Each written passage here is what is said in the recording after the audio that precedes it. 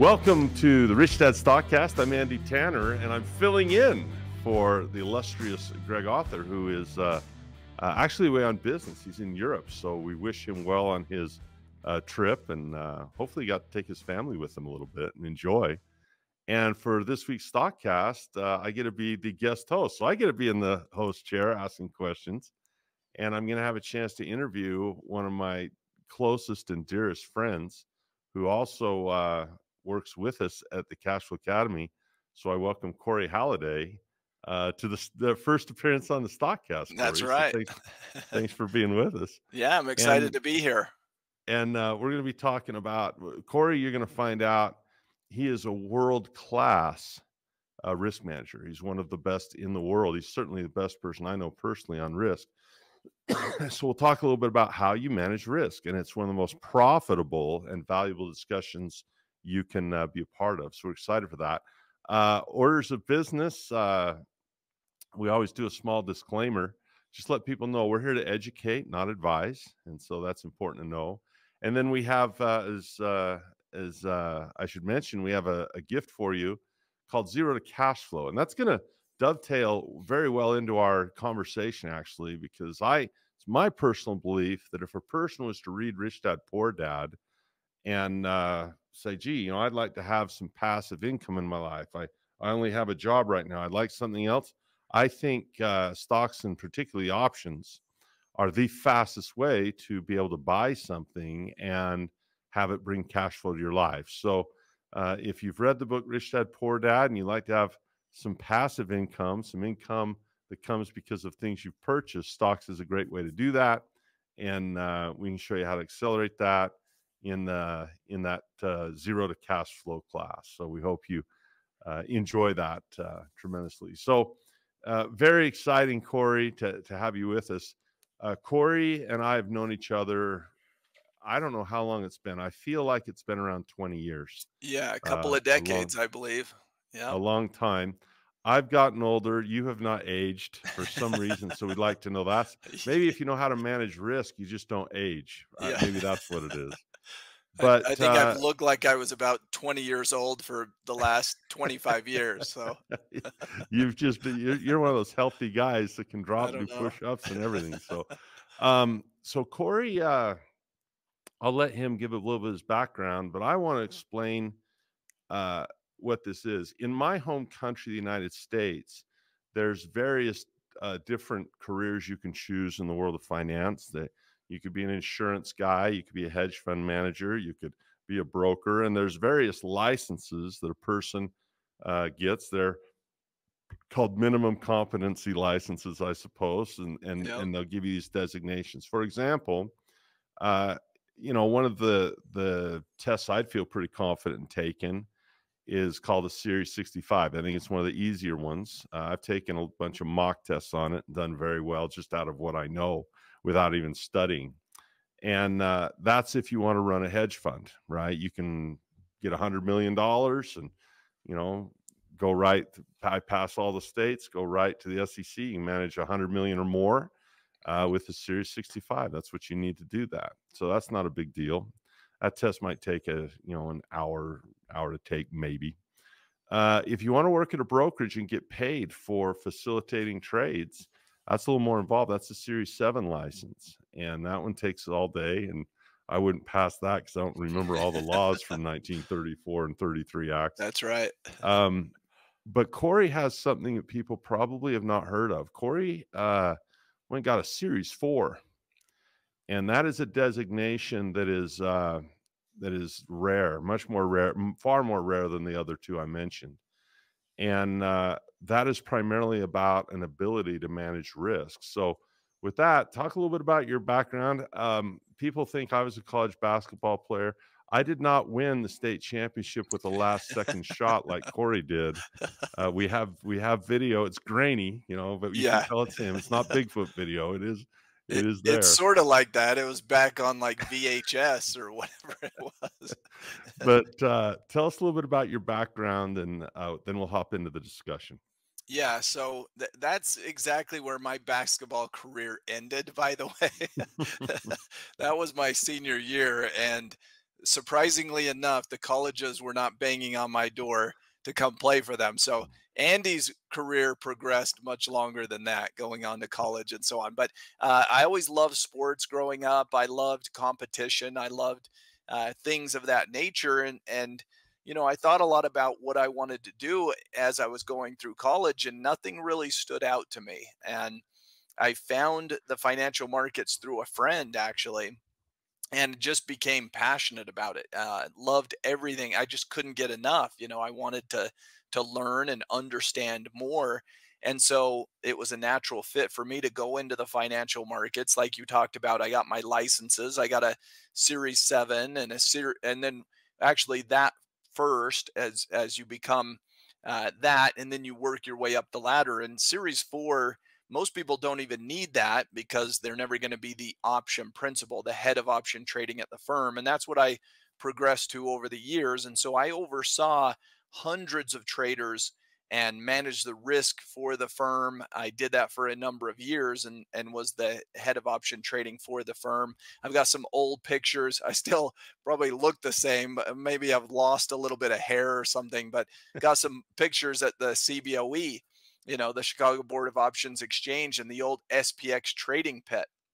So if you've ever watched Ferris Bueller, you see them with the open outcry, you know, like if they're doing the hand signals this way, they're buying, and if they're doing it this way, they're pushing it out, they're selling, you know. And uh, um, so, anyway, it, markets have progressed quite a bit. I retired from doing that. Well, it's been 15 years or so that I've been out of that, just managing my own investments, doing other types of investing, uh, teaching at the Cash Flow Academy, which I absolutely love. Our students are amazing, uh, motivated, and we get incredible feedback, unsolicited, where they just say, Your stuff, I'm finally making money in the markets.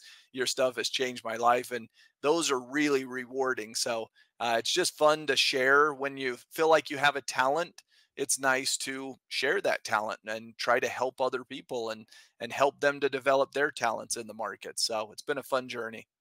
So you're the best risk manager I know, and I, you know, I picture in my mind a trade. You know, I just picture uh, hundreds of traders that do this for a living, and they are, you know, taking various risks with, you know, fancy credit spreads and different option contracts, and they've got all this and you have a dashboard where you see everything they're doing and you got to make sure the firm is safe. And you got yeah. and still making money. Yeah. And so you're really you're really the guy in the captain kirk chair managing the enterprise you know at, at every angle. And most people don't have that benefit that i do. Uh, like yesterday you know i said we were talking a little bit about the spinoff uh, out of 3M. 3M, yeah. And how that how that was manipulating options on the on the stock and uh, whenever I want to talk shop, I get to call Corey, and it's just uh, it's it's my unfair advantage for sure. And most people don't get that, so I'm excited to share uh, share you with everybody. Yeah. The the second the second thing I'd bring up is we invest based on four pillars. And in the zero to cash flow class, you'll see me outline those four pillars if you take that free class. But the most important pillar of investing by far is risk management. And people that have a negative risk always, you know, has sirens and alarms and it sounds scary. Risks is a scary word, but I don't really see it that way because risk is connected uh, to the other side of risk, which is uh, reward. Reward, yep. And and the the greatest rewards are tied to greater risks. And so the more someone starts talking about risk, the more excited I get because I know there's a proportionality to that. That the more risk we take, the more reward there is. Would you talk about that for just a little bit? Is you know, in your life, having made a living as a risk manager, like that's what you did every yeah. day uh, what does that word mean to you when you hear yeah. risk? Does that freak you out or what? no, not at all. I mean, I I sleep very comfortably having the vast majority of my net worth involved in the markets, and that comes back to education. You know, you look at someone like Warren Buffett. He's got 99% of his wealth tied up in the financial markets. And he sleeps very comfortably. And he's always done that. And why? Because he really understands a few principles. And I always emphasize you're it's far more risky to stay in cash than it is to become an investor, to own assets. When you think about the difference, the Federal Reserve, these money printing measures, they're guaranteeing that your money will buy fewer goods and services down the road. They're guaranteeing that. So if you stay in cash, you think you're playing it safe. You're like, "Oh, I'm I'm going to play it safe. I'm going to be in cash. I'm going to hide out and put it in my mattress." Well, it's not safe. They are eroding that in, inflation is just killing your purchasing power. So it'll stay a hundred dollar bill forever, but it'll buy $98 worth of stuff next year and $95 worth of stuff. And pretty soon, a hundred dollar bill won't be worth anything, right? And so we have to own assets. It's clear the only way that you stay ahead of inflation is to own assets because assets generate returns above and beyond inflation but we need to do that in a risk managed way and so it's it's really interesting because when you look at the ability to be in the markets but not have excessive amounts of risk i can own stock and with a couple of buttons pushed i can be hedged i can be protected i can put my portfolio in a safe state and then after the turmoil has passed, I can bring it back out of that protected state. You know, we we can utilize things, and this is why the options market was created. It's funny because if you tell someone that you utilize options, they'll usually say, "Oh, that's very risky," and so on. Options were actually created to reduce risk, so that you can hedge, so that you can protect your portfolio when needed, and so it's it's counterintuitive to how most people think. Most people think, "Oh, I'll sit in cash and that'll play it safe and I'll, you know, not invest in stocks and real estate and other owning assets." Well, that's playing it very very dangerous actually. And being involved in assets actually increases your probability of success of what you need and where you want to go. So the, you you made an interesting comment about options being a way to manage risk instead of uh, you know being so risky. And I look at options a lot like the insurance that I have on my car, or my home, or my life, or my health. Yeah. Uh, a person would be far in a far more risky position to own a home and have no insurance on that home. That'd be a riskier position an even worse position would be to be homeless. That's a very risky position. Yeah. You're not going to get wealthy being homeless. And so buying a home and investing in a home and having uh, insurance makes sense. Well, what's more likely to burn down in the next five years, your home or your 401k? And and people, those are the two places where people put most of their money in America. They have it in their house, which you know I don't really think is an asset, a personal residence, and they have it in a 401k they insure one, but they don't insure the other. Yeah. So we'll we'll talk a little bit about uh, uh, about options, and we'll talk a little bit about that with some metaphors and analogy. But uh, you know, managing risk that's your that's your gig, and I think it's the most important pillar. Uh, yep. Just a comment or two on uh, you know people are want to be technical analysts and they want to guess which direction the market's going to go. They want to be fundamental analysts and pick out which company is best why is risk management the most important pillar? Yeah, I mean, in anything that you do in the markets, you utilize risk management so that you improve your probability of success long term. And so when we look at it from the standpoint of most people, they, eh, like you talked about 401ks, they simply succeed if the market goes up. But on any market downturn, they're getting destroyed, right? That and it, this can happen. You can have a Japanese scenario where markets go down for multiple decades. Imagine yeah. if we go through a 30-year cycle where US stocks go down, you know, and have no real return for 30 years. Well, what options utilize is a couple of things. Number 1, they can protect you from the downside. So they're going up in value while your portfolio is going down. So now you're not losing, but maybe more importantly in that scenario would be the income that they generate because yeah. the the options market can generate like we look at dividends are fantastic right when buy a stock it pays a 4% dividend i've got 4% coming in if inflation's running at 2% hey my dividends are making more than inflation but what yeah. if i could double maybe triple that dividend by bringing yeah. in income from options what if i can start and that's what they allow us to do is basically we can sell conservatively and not aggressively, conservatively some options where we generate a few extra percent per year. And it might not sound like much, but man, a few extra percent per year. Millions of dollars. It's millions of dollars when compounded over an extended period of time. So uh, it's meaningful. And that's one thing where people I don't think think about the I mean, there, if we look at economies around the world, most markets go through a cycle where there's a multi-decade stagnation, uh, downturn, something to that effect, like Japan has experienced. And the U.S., as we get older, um, as we progress in that state, we're not we're not really teenagers anymore as a US economy. We're we're getting older and that's usually where you run into some of these things. And I think options are going to be the way of the future because while your stocks aren't doing much of anything, maybe for a decade or two, you could be generating some serious income on the option side.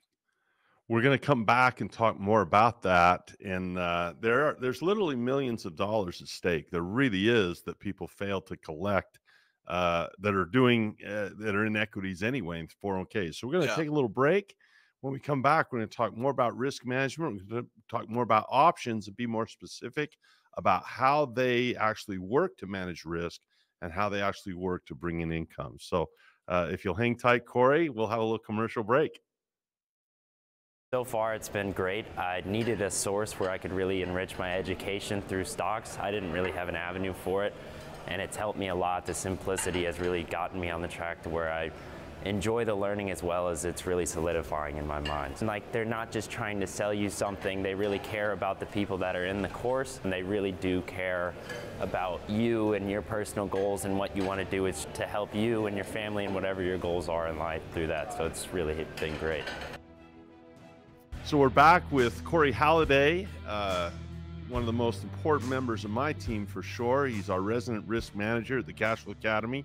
He trains all of our coaches, uh, even delves in a little coaching himself, uh, mostly because he just loves doing it. Uh, do. we we don't burden him too much. Uh, you know, he we the Corey gets along great with the Cashflow Academy because we don't cut into his golf time. That's right. And so uh, so he lives a pretty good life and uh, likes to hit the golf ball a lot. But you've earned it. You've you've uh, you've come to that place by investing well and being educated. I, have got some get... breaking news on that front, Andy. I'm going to be at the Masters on Sunday.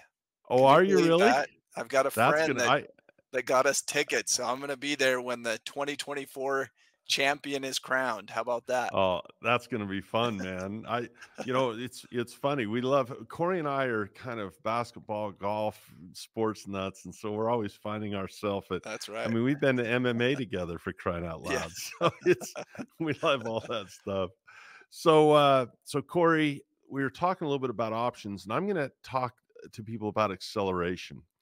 And I hope people do take the zero to cash flow course because it's a first step and i'm going to frame this with an analogy. I i have a calculator that i'll put people in that lets them know where they are in relation to where they want to be. In other words i'll say all right what do you want your retirement or your exit of the rat race to look like and how fast you want to get there? And all i need is those two things how fast you want to be there and what do you want your life to look like and we can actually purchase that life. There's there's no life that you can live that you couldn't put a price tag on. If you want to go uh, on a world you know tour or you want to be a have a insane vacation every month or every week we can price that out no problem. So one of the things we're really good at is helping people decide what their their life wants to be like and then how fast they want to get there. And as soon as i have that i say okay how much money do you have right now? And they tell me and i say here's what you got to do. What i found uh, with the vast majority of people. It's very rare to find someone who's on track. Almost never happens. Uh, I look at the vast majority of these people, and they have a problem with vehicle. You know, they have a problem with speed. Um, you know, the the market. If you're a capital gain person, you know, it's going to give you eight to ten percent a year. That's what it's done over the last, you know, 50, 80 years, whatever is, eight to ten percent. Um, and people struggle, you know, to get where they need to be with that, right? And so let's make an analogy here. Let's say that a person wanted to go to the city park and their goals are small and they're close by. They're not a far, you know, they're not far from their goal and it's not a grandiose goal. So we have uh, the the smaller the goal is, the closer it is. So maybe I want to go to the city park. Maybe it's a mile from my house and I want to go there. So I might say, well, I could walk there, but maybe I take a bike ride and get there faster.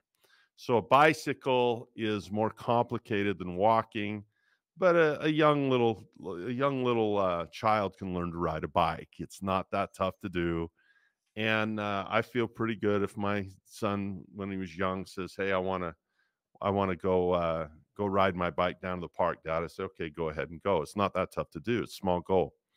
But if a person wanted to visit a national park, maybe they want to drive you know, to Yellowstone and it's four hours from wherever you live. Bike isn't going to get that done if it's four hours by car. And when my kids started to drive, uh, the first time they, you know, they go off on that on that car on their own, you know, there's that thing's moving a little faster, and you can really, you know, there's higher amounts of risk because now you've got you know more speed involved you know you're going a longer distance other people are driving it's a more complicated thing, and we manage those risks with driver education. Uh, driver education. But if a person has bigger goals and they they live in Texas and they want a vacation and retire in Hawaii, uh, they're going to take a boat or a plane, and a plane is going to get you there faster. Well, now you've graduated from this little thing with two wheels and pedals. Now you have a big metal tube that weighs, you know, huge, you know, you're 30,000 feet in the air with something that weighs a lot and and you're traveling uh, you know four 400 miles an hour through the air those risks are almost unfathomable to someone who would have lived uh, you know 200 years ago. They wouldn't even have, have, have thought of, of of that idea. And and here's what i think is the most interesting. Of those three modes of travel if you look at the data you would say, well, by far the plane, you know, if I put, if all of a sudden I snap my fingers and everyone listening found themselves behind the cockpit of a 747 having to land the plane, they'd probably lose their mind, right? Yeah. I know I would. I would. And yet, and yet, of those three modes of travel, uh, flight is the safest. Most people get where they want to go when they want to get there safely than any of those modes of travel. And the uh, the the the amazing part of that is is one thing it is the education of the pilot that manages those risks and that education is so effective uh, that that his heart rate doesn't get up and I, i've known a lot of pilots in my day and their physiology when they drive to the airport their heart rate doesn't get up you know it's like you and i driving to the grocery store yeah. And when they get behind the cockpit of the 747, their heart rate doesn't change either. It's just another vehicle. It's another thing, and it's and I feel like people should know that's that's Corey's life. I have never seen your heart rate go up in 20 years of knowing you. Uh, we've seen a lot together in the markets, including COVID. We traded that together uh, yep. during that time. Batted, we batted uh, we batted a thousand. We we we have a an annual event, and in 2020 it was during COVID, and every single trade it was so easy though because it's shooting yeah. I mean, it's going down you got the direction right it's pretty shooting to, fish in a barrel. It really was i mean it was it was probably the easiest year we had because you know it was very very simple to, to do. Can you talk about that confidence for a minute and how that's a gift you can give people? Yeah i mean it's something that education dispels fear right and so the more you learn, the less fearful you are of the markets. And it's the same way I love your analogy because the more you learn about planes and about flying, the less fearful you are, right? This the data, the statistics, the knowledge that you have, all of a sudden you go, well, this isn't scary at all. This is the safest way that I can travel. And it's the same thing I was saying earlier about being in cash seems safe. It's like climbing into a car, most people's heart rate doesn't change at all. But a lot of people, when they get in a plane, they feel really nervous, right? And it's education, it's not understanding the statistics and the data and so on. And it's one of those things that the more you do it and the more you learn about it, all of a sudden you're sleeping just fine in the plane and you're not worried one bit and you feel a little turbulence and you're like this is normal this is commonplace you know?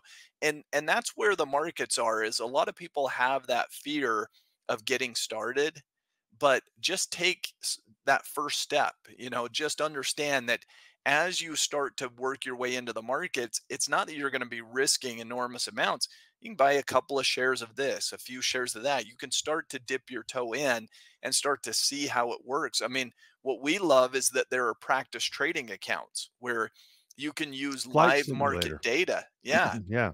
So you're using a flight simulator for the markets. You're using live data to track your performance, to see how your investments are doing, to practice some option things before you actually go live into the markets and again that builds confidence that builds that that understanding of oh i know exactly what i would do and and that's where risk management comes in is it's a what if question. Well what if it goes here? I know exactly what i'm going to do. Well what if it goes here? Oh i've got a game plan for that. And we have that when we understand when we gain that education and so now we're not fearful at all. I know exactly what's going to happen if it goes up, if it goes down, if it goes sideways. I've got a game plan for all of them. Probably the way we like to do it is maybe we can put on trades where we're directionally in it doesn't matter what's going to happen. Yes. We're non-directionally trading, meaning we can put on a trade that starts with an 85% probability of success.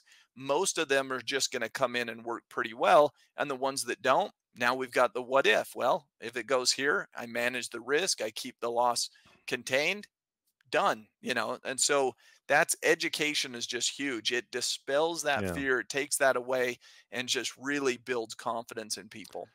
People don't realize the high probability trading. Uh, for example, I was updating, I use Dow Chemical a lot for an example because of when I bought it. I bought it in COVID, right? When it fell yeah. And I've traded options on that every single month for now four years. And uh, my success rate's 90%. And people, I mean, and the 10% you can manage, you know, when yeah. it doesn't fly. So 90% of the time when I make a call, I know, and guess what? I will tell you that five years from now, I can come back and say, yeah, in the last five years, I've been 90%. And 10 years from now, I can tell you because it's this, it's like a casino that you run yeah. And the casino can predict what their percentages are going to be. It's not that tough. It's just math. And I, I promise that we talk a little bit about options. Um, I would not buy real estate without debt. I wouldn't do it. There's no way I'm going to save my way to buying houses. It's not fast enough. It's it doesn't go fast enough. And I think you have more risk not using you, using debt than you would in using debt in real estate. Well, the same is true with options. Um, and I talk a little bit about this. Options give you choices, rights, and guarantees. Yeah. Um, in other words, if you're nervous about where you could sell something because you don't know where the price is, for a very small amount of money, you can buy the the right to sell at any price you really want to. Could you talk yeah. about how important the, the the the control is in in options on the protection side? Yeah, it's it's huge. And this is when we talk about 401ks, they are pure directional. You eh, they only make money if it goes up. As it's going down, people can spend years not making anything, right? Yeah. With a small amount of capital, you know, 1%, whatever it may be, you can insure your portfolio. So you can say, okay, well, if it goes up, great. I'm going to keep making money uh, my portfolio is going to be doing just fine.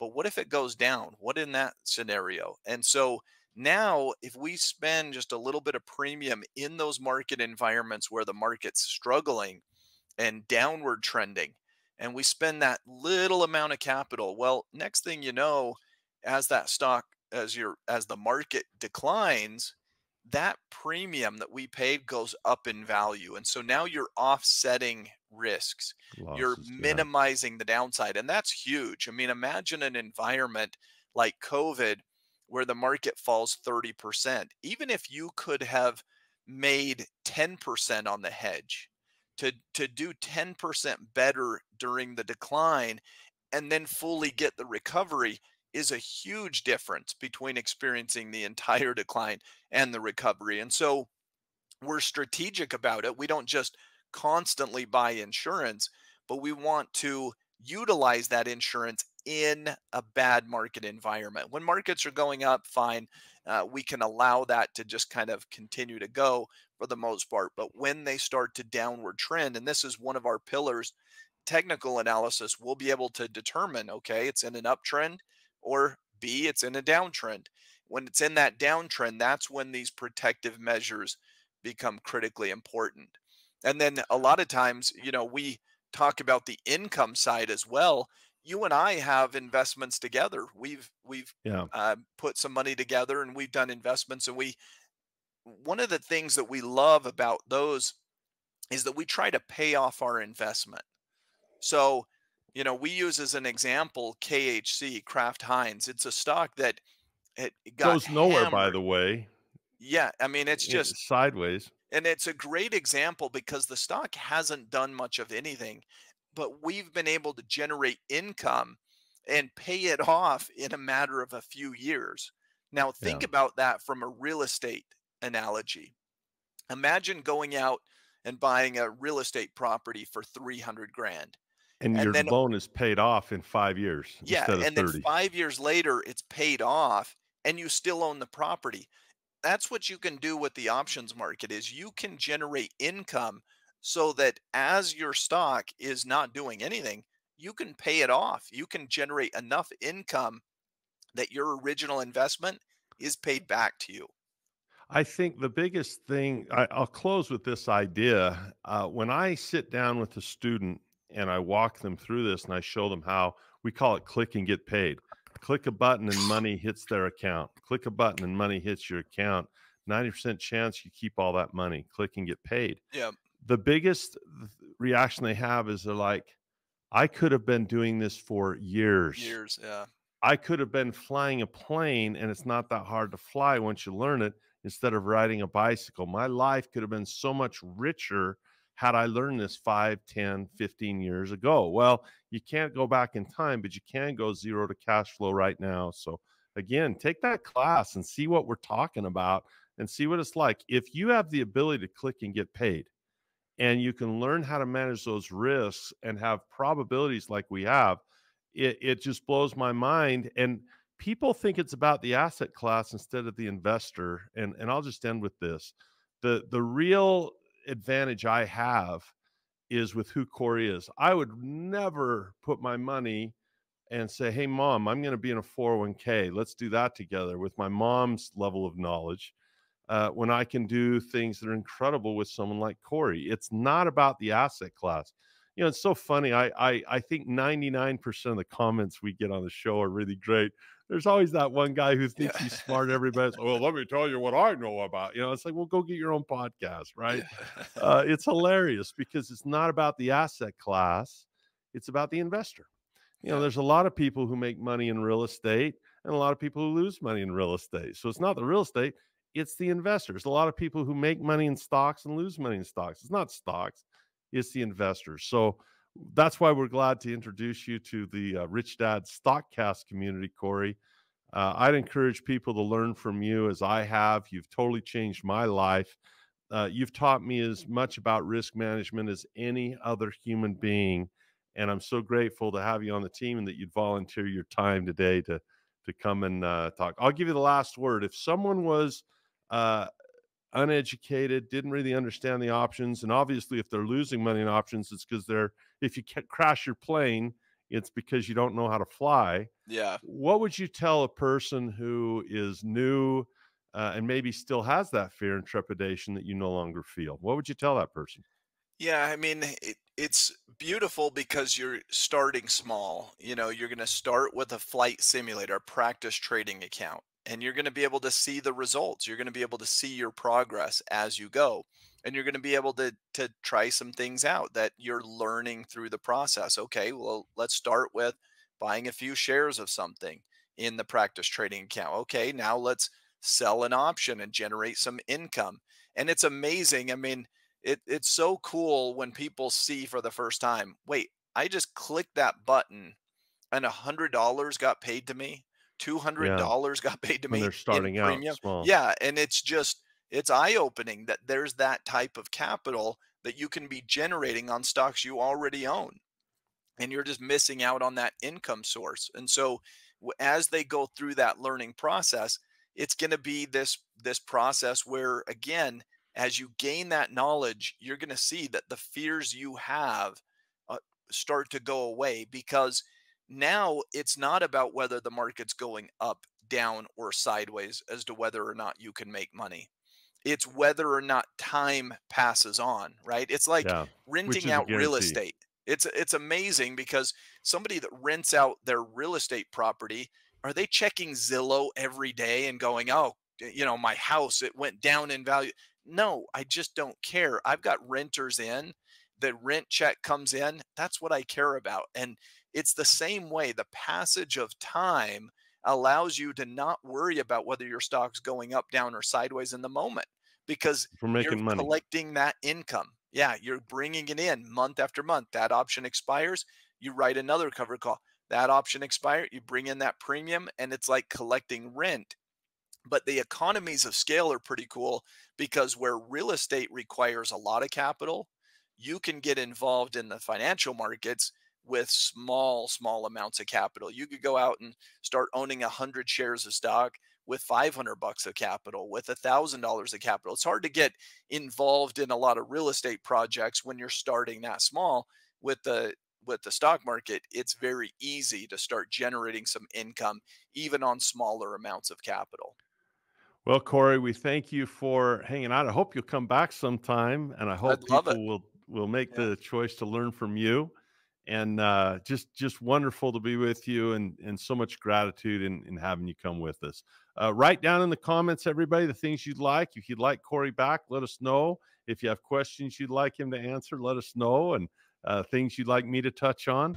We risk, we wish Greg uh, a safe uh, return back so he can get back on the Stockcast with us. Uh, until next time, I'm Andy Tanner. Go get educated, and we'll see you next time. This podcast is a presentation of Rich Dad Media Network.